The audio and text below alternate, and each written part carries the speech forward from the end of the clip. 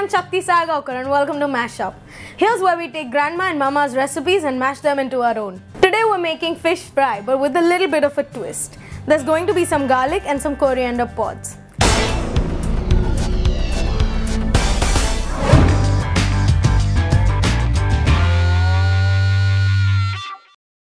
So let's get started then. For 6 mid-sized pieces of surmai we need about 1.5 to 2 tablespoons of oil. We need some salt to taste. You don't want too much because fish is salty in its nature.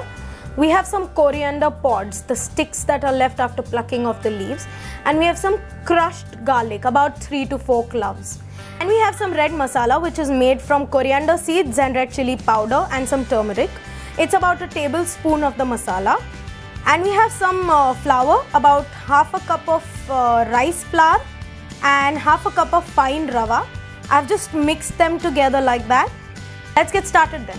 I'm going to start by putting in a little bit of salt. Not too much because fish is naturally salty in its nature. Some red masala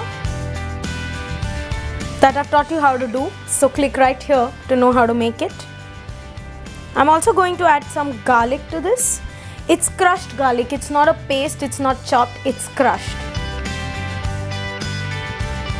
and now we're just going to mix this together making sure that the masala the garlic and the salt is evenly spread over each piece of fish.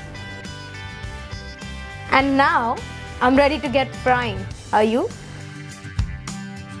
The fish is going to roll in the flour now. All you have to do is get the fish to sort of soak up the flour.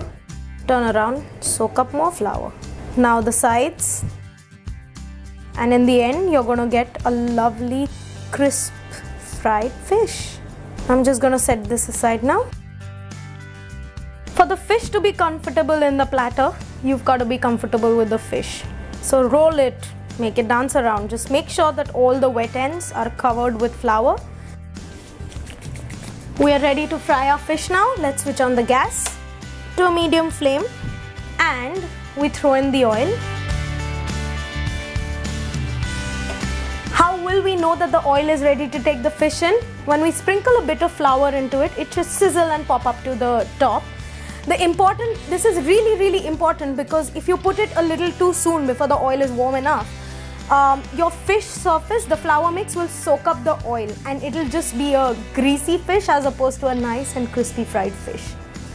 Let's try putting some flour in. See that?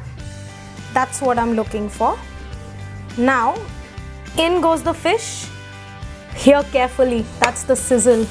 That makes me feel like I'm at home. You want to be careful when you put it in because the oil can sort of splash out onto your hand. You might be wondering what's happening to the coriander sticks. I haven't forgotten them. They're going in now, in between the fish. The thing with the coriander stalks is that it is packed with flavor. The moment it touches the oil, you can smell it and I want that flavor to come into the oil and then into the fish. You're going to lightly lift up the side to see if it's done and if it looks dark brownish, you're going to turn it over. Look at that, it's nice and crispy. Another 2 minutes and we're ready to take this out.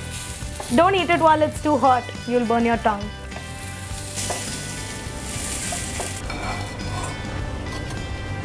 and there it is a perfectly fried surmai you could do this with any fish there's no way of going wrong don't waste the coriander pods they taste really nice when they're fried and crisp this goes really well with sol curry and steamed rice which is already on India Food Network. So subscribe to India Food Network and if you want to see more such recipes, bookmark, favorite and share this recipe because sharing is caring. We've got loads more for you, so subscribe to this channel and ping us at food at pingnetwork.in to tell us what you would like to see here.